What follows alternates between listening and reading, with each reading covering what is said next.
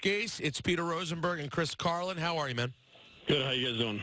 Pretty good. Um, I'll, I'll st- let's start out real quick with uh, what was, I guess, the, the, the the trending topic out of Thursday's game, which was you and your quarterback. Uh, you know, showing some um, being demonstrative, let's say, on the sideline. I'll just say this: when you took the job, did you realize that every sort of moment like that on a New York sideline is a bigger deal than anywhere else? Yeah, I think I had a, a decent idea, but obviously you learn a lot as you go through the steps of this job. And in the moment, like how quickly do you realize, oh, wait, we're kind of yelling in front of everybody. I'm going to be hearing about this for probably a week or so. Yeah, especially since we weren't even yelling at each other. That's the worst part, is we were actually both upset about the same thing, and it was something that happened outside of what he did.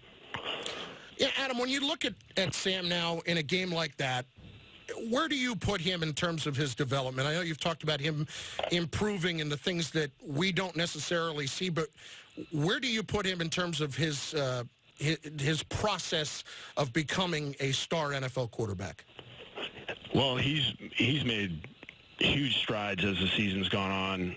This last, the first half that he played in this last game was really, really good. You know, he he had that he had a one bad error there at the end, which was an interception, which I know he wishes he could have back.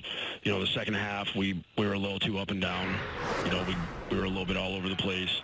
But for the majority of the season, I mean, he keeps doing something within that game that he hadn't done the week before. So that when we go back and watch these things and we talk through them, just kind of the way that he's thinking through stuff has really been something that gets everybody excited. Okay, so when it's the things that we don't see, give us an example of the things that we don't see where he has really gotten better. Well, just controlling the line of scrimmage, checking the plays versus certain blitzes. Like this last game, he got to some stuff that he had never done before. You know, he saw it coming. You know, probably a couple of these third down conversions that we had in this last game were because of him changing the play at the line of scrimmage because he saw the defense and he, he got us out of a, a bad play and into a good one.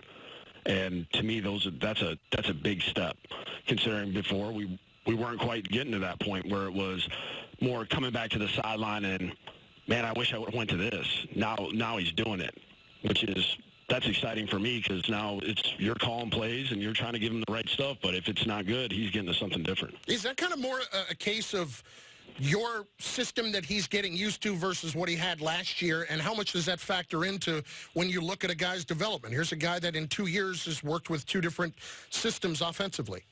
Yeah, I mean, really, if you think about it, three and three years, if you count, if you count yeah, college. that's true. Yeah. So, I mean, he's had a lot of, lot of different. He's had a lot of change, and I do think with the three weeks he had to spend away from here wasn't ideal for him. I felt like we were really kind of heading in the right direction, and then he had to go away and was kind of.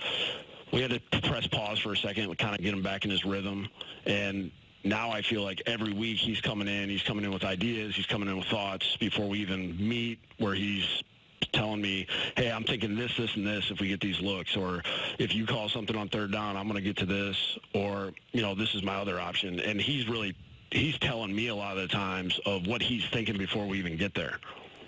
He uh, Sam came to our, our party on Friday and was great. Took pictures with people, hung out. He seems to be such an unusually mature and sweet kid.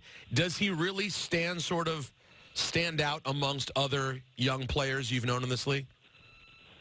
I would say yes. I don't. I don't think I've been around a guy his age before that's as mature as he is, and he, like, just how how much he cares about other people, where he wants the, them to have success, and he always puts himself last, and that's there's something to be said about him in that aspect. I mean, he really does care about he wants all his guys to have success and he's not he never talks about his own stats he never talks about anything with himself it's always about somebody else.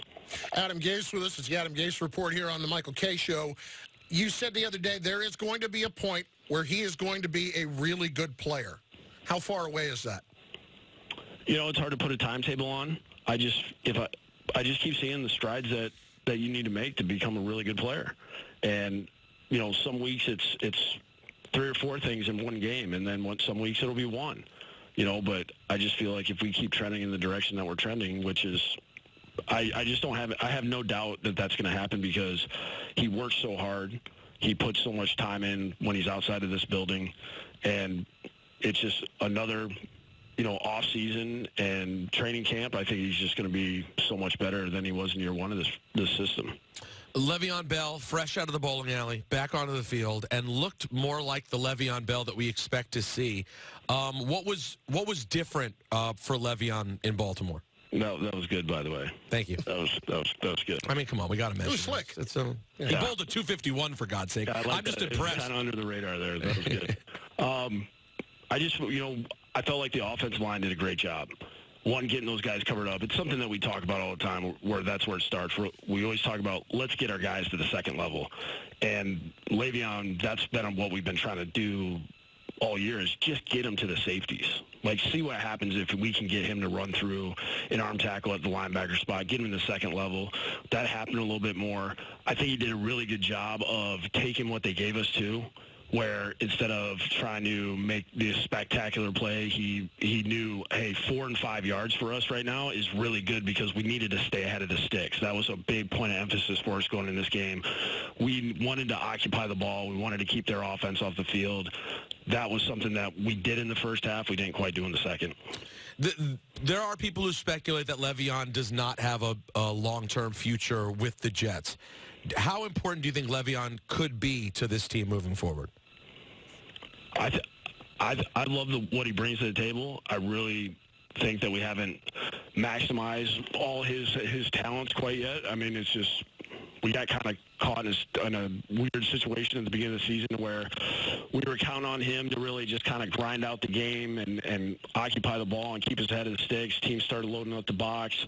I think he took a lot of shots early in the season, which kind of probably didn't feel great for him and probably slowed him down a little bit. But you know, we've had some games where you know you see see him juiced up and he's he's feeling good and he's able to hit those holes and we open those things up and we get him involved in the passing game and you know we've had some some good games with him. We just gotta we gotta get to the point where I'm calling it well enough to where he's been able, where he can be consistent, you know, and we can get him into a rhythm early in the into the into the game. Adam, it felt like um, when you look at his history at Pittsburgh and, and the type of running back he is, he's always been a very patient guy, and then kind of explodes. And it felt like the other night was kind of the first time this year that we saw him in that running style. Is that fair to say? Had he been running the ball or approaching the run game a little bit differently, maybe not as patient just to try to fit in before this? Uh, I think it's just trying to figure out because we've had some moving pieces up front. I think he's just been trying to figure out who who he's working with and how that it all kind of ties together. I think that's the positive thing about him practicing the way he does is is he's trying to get in that rhythm you know, he's trying to figure out like, all right, how are they going to block this? How's this going to look? And you're trying to get the right look on scout team. It's always it's always a little more difficult when you're playing a three-four team and they played a little different than, you know, a four-three team and kind of how the guys, you know, are they two gap and you know you're trying to get those looks in practice. You don't always get always get that, but I think he's he's getting a better feel, especially here towards the end of the season, of how these guys are doing things, and and he's either adjusting or he's kind of tailoring his running style to kind of what how our guys are blocking some stuff. Uh, last one on him. Have you ever bowled a 251? No. Not even close. Not even close. Uh, now, is he that talented a dude that it wouldn't surprise you that he was actually that good a bowler? That wouldn't surprise me. Um, so speaking of uh, unbelievable talent, one thing Sam talked about was the frustration last week that things started good against the Ravens, but Lamar Jackson's in a place right now where, where, Sam basically said, you know, every time they got off the field, you guys got off the field without points. He almost knew he'd be coming back in the game in a bigger hole because that's how good that Ravens offense is right now. How good is it up close, and what can you do to really slow them down? Yeah, it's tough. It's it's I mean, when you watch him play play live, I, I, think the only comparison I can even think of is probably like my second year in the league. I saw Michael Vick play and watching him throwing the ball the way he, he could throw the ball and the way that he can make guys miss and just kind of how scary his speed was up at, up close when you saw him turn the corner and guys were just not, they, they're struggling to catch him and he looks like he's not even running. You know, I think Lamar's just the game looks slow for him right now. You know, he's playing fast, and it just everybody else is just at a different speed. You know, they're a gear behind, and you know it's it's tough. You you got to find a way to try to find an incompletion, try to find a, a zero or negative play there, and you know try to get off the field to where, and then on offense, you got to when that happens, you gotta you gotta counter it, and you gotta find a way to put the ball in the end zone. Yeah, Sam said the same thing. You basically just have to keep scoring. I mean, the one thing I see, coach, and I'm curious because you're a quarterback guru, is that Vick had a bigger arm, right? He had an absolute monster arm, but Lamar at this point appears to have a little bit more discipline with how he uses his arm and and where he puts the football. Would you say that's true? Because I don't. Uh, Michael Vick never had a completion percentage like the kind Lamar Jackson has right now it's hard for me to really compare in that aspect of it. I mean, I was I was 23, 24 years old when I saw him play live, so I mean, it seems like an eternity ago. I would I mean, Lamar looks looks good, you know, throwing the ball, especially down the field. I mean, he's he's hitting those shots. I mean, when everybody's trying to stop the run and then he's getting those opportunities where he's throwing a post or a corner out, whatever it is. I mean, he's hitting those things. You know, whether it's tight coverage, or guy's wide open, he's just not missing those big plays. So we're we've actually been having some fun today talking quarterbacks with how good uh, Brees is and his numbers now. We've been comparing uh, Brees and Rodgers. First of all, just coaching against Drew Brees, you obviously coached uh, Peyton Manning, had tremendous success with him. Where do you put Drew Brees in the all-time great conversation at this point? I mean, he's up there. It's hard to it's hard to like number those guys. I just know when you're around them, they're it's impressive to be around. I mean, 29 to 30 is ridiculous. I mean, just to just to even think about how he's talking about how he he wish he would have completed that one one pass that he missed. I mean, it's just it's unbelievable to even to be close to that. Is there a stat that you, as a quarterback guy, would have put above all else for people like us who are, you know, we don't know it as intimately as you do, but we talk about stats all the time. Is there one that you put above all else when you're evaluating a quarterback? I think I, I always look at third down and red zone. Those are the two. Those are two areas where if a guy's a successful quarterback on third down and, and he's throwing touchdown passes in the red zone or his team's getting in the in the end zone, you know, in the red zone, those are those are two areas that you can't really mask on, you know, with all the analytics stuff. You know, you either get the conversion or you don't. A lot of people are calling us up right now and basically saying, "Ah, oh, you can't put Drew Brees in this." We were we were comparing Brees and Rodgers, and a lot of people calling up going, "You can't compare Brees and Rodgers because Brees plays in the dome." Um, how much now? Obviously, you coached Peyton when he was in Denver, but mo most of his success came in Indianapolis. How much of a factor is that, or is that just something us yo-yo fans talk about? I think every every situation is different. I mean, I think three years I was with Peyton, like those were, you know, two of those three years were were ridiculous numbers for him, and he played majority of games outside. So, I mean, his best season ever was when he was in Denver you know, statistically. So, I mean, it's it's it's hard to say, hey, how big of a difference does that make? Um, I mean, it's I, I think it is impressive that when you're in Green Bay and, and you have the kind of numbers that Favre and, and Aaron Rodgers have had, it's you know they've played in plenty of bad weather games considering that they got to go to chicago you know obviously they got to play indoors at minnesota and, and detroit but i mean they're playing a lot of outdoor, outdoor games in bad weather so you were talking about the 2013 5,400 yard, 55 touchdown, 10 pick season for Peyton. Yep. That must have been fun. yeah, I would. I, it, it's crazy to even think back of. We were at a point where I think he was he was something like 25 touchdowns, no picks, or something like just something crazy. Adam Gase with us, uh, Pittsburgh this week.